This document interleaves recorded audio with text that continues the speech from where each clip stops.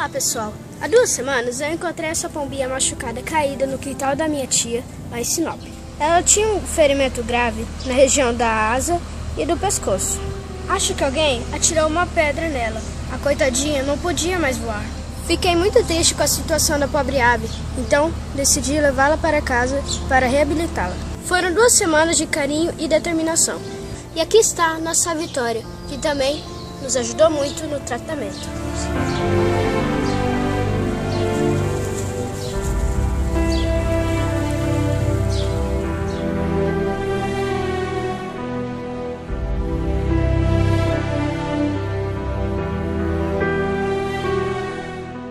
Você também encontrou por aí um pombo ferido, eu tenho algumas dicas que poderão te ajudar. Vamos conferir? Em primeiro lugar, vamos entender um pouquinho sobre o mundo dos pombos. O pombo é uma ave, até certo ponto, discriminada no Brasil, mas em outros países ele faz parte da paisagem e serve para distrair os turistas. É verdade que os pombos podem transmitir doenças porque são aves urbanas, mas não há motivo para temê-los, até porque qualquer animal como gato, cachorro, macaco e outras espécies de pássaros também podem representar um risco à saúde dos seres humanos. Recomenda-se evitar o contato direto com as fezes desses bichinhos, mas jamais devemos desprezá-los, afinal são criaturas divinas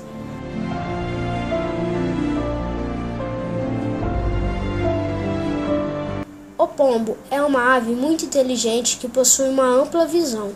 Dizem que alguns helicópteros da Marinha Americana são adaptados para transportar pombos em um compartimento na parte inferior. Isso porque, em casos de resgate, essas aves conseguem enxergar uma embarcação a uma distância de até 40 km em alto mar. Ao notarem um barco ou um navio que de longe parece pequenos, eles começam a bicar o vidro pensando se tratar de alimentos, dando a exata direção aos socorristas.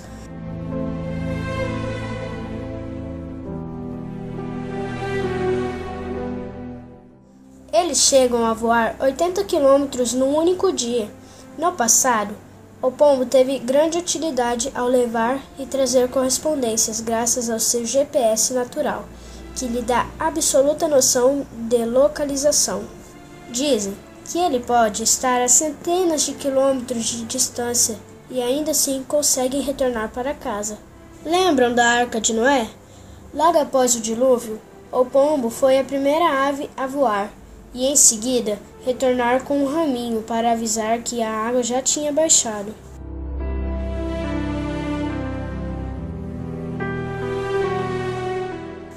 Mas vamos voltar à história da nossa vitória. Como eu disse, a encontrei caída e machucada no quintal da casa da minha tia. Fiquei comovida e decidi fazer algo por ela. A primeira coisa que eu fiz foi alimentá-la. Ela estava com muita sede. Depois, a coloquei em uma caixa de sapato e levei para minha casa, que fica em Sorriso, 80 quilômetros distante de Sinop. Nos primeiros dias, improvisei umas luvas com sacolas plásticas para evitar o contato direto com a ave. Limpei os ferimentos com algodão umedecido.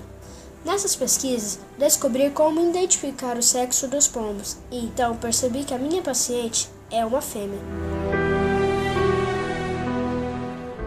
Providenciei um lugarzinho para ela no box do banheiro, que fica do lado de fora de minha casa. Assim, ela pode ficar confortável e livre de ameaças de predadores que também habitam o recinto.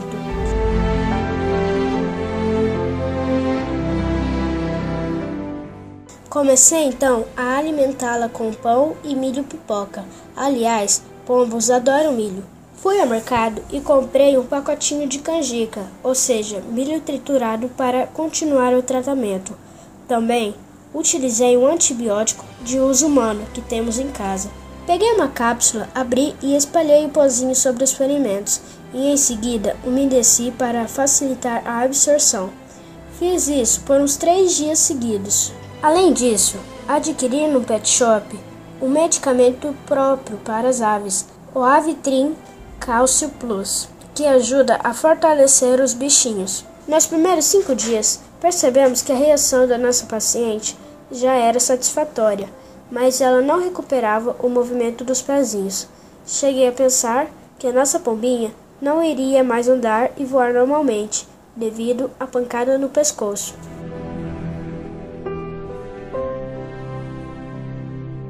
Além da alimentação e da medicação, tentei estimular o bichinho a caminhar.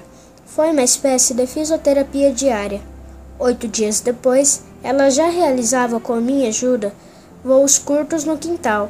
O problema era a aterrissagem, já que ela havia perdido o movimento das pernas. Por isso, os voos experimentais pós-tratamento eram realizados numa área coberta de grama fofinha.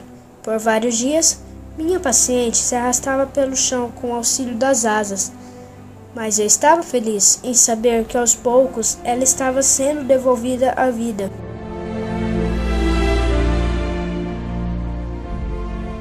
Passaram-se mais de 15 dias e hoje percebo que Vitória já se prepara para me deixar.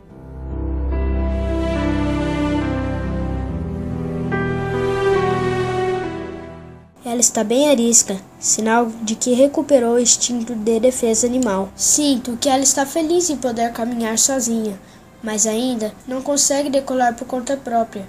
É questão de tempo. Penso em que dois dias no máximo ela já estará de partida, totalmente recuperada. Sendo assim, tratei de amarrar em um dos pezinhos uma fita amarela, na esperança de que um dia ela vai pousar em meu quintal.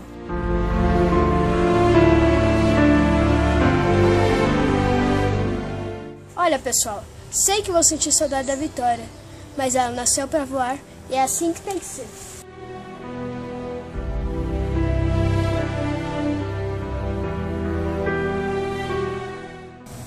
Estou muito feliz com a recuperação da Vitória. Eu tenho certeza que essa ação também agradou os olhos de Deus. Eu espero que as pessoas tenham consciência que não se pode maltratar os animais, porque eles também sentem dor.